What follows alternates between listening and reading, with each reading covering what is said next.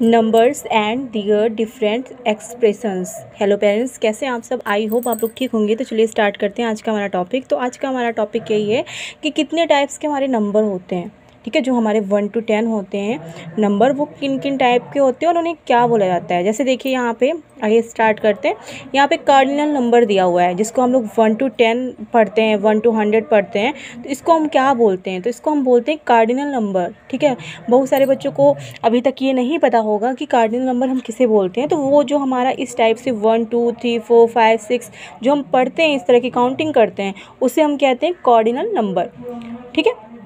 ये हो गया ये देखिए यहाँ से वन से लेके हंड्रेड तक दिया गया है। अब देखिए रोमन नंबर क्या होता है? रोमन नंबर ठीक है? अब रोमन नंबर इस टाइप से बनते हैं। जैसे देखिए आपको यहाँ पे दिखाया गया होगा अल्फ़ाबेट्स लेटर आप, आप लोग लिखते हो तो अल्फ़ाबेट्स लेटर के तरह ही यहाँ पे लिखा गया है बट उसकी जो जैसे यहाँ पे वन है तो वन को कैसे लिखा गया है? आई के तरह लिखा गया है ठीक है? तो इसको हम लोग कहते हैं रोमन नंबर। वन यहाँ पे आपका कार्डिनल नंबर में इस तरीके से लिखा गया है जहाँ पे आप देखेंगे और रोमन नंबर इस तरीके से आई की तरह ही यहाँ पे लिखा गया है रोमन नंबर ठीक है? सेकेंड को कैसे लिखा गया है यहाँ पे? टू को। इस तरीके से डबल आई फिर थ्री को यहाँ पे कैसे लिखा गया है? ट्रिपल आई इस तरीके से ये आपका रोमन नंबर हो गया। ठीक है? तो ये आपका कार्डिनल नंबर हो गया और ये आपका रोमन नंबर हो गया। अब ऑर्डिनल नंबर क्या होता है?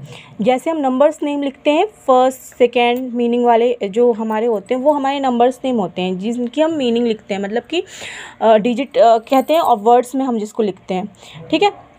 डिजिट तो हमारी ये कार्डिनल नंबर हो जाएगा और जो वर्ड्स में हम लिखते हैं, वो हमारा ऑर्डिनल नंबर हो जाएगा। जैसे देखिए यहाँ पे फ़र्स्ट है तो फ़र्स्ट मतलब फ़र्स्ट को क्या वन को हम लोग यहाँ पे वन पढ़ते हैं first second third fourth fifth six इस तरीके। तो फ़र्स्ट क्लास जो हमारा होता है first second third fourth fifth six seventh eighth तो ये हमारा हो जाता है ऑर्डिनल नंबर ठीक है?